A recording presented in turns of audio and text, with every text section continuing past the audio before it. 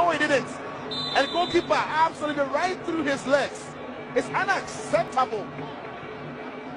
No way. It's unacceptable and the ball goes in the legs of the goalkeeper. But it's Adebayor who's going to be credited with the goal. And that is where Ibrahim Jalad on the bench is going to be asking questions that I would have been doing better with that. And puts all the pressure on Bonsu. This. I love to watch this over and over and over again. There he goes. Whop to the legs. Adebayor to Zachary. He gets a return. Here is Adebayor. Not sit down into the box. He turns around Abedu. Here is Adebayor. Oh, Goodness no. Magical from Adebayor. Oh my word. Did he just do that? Adebayor, give and take.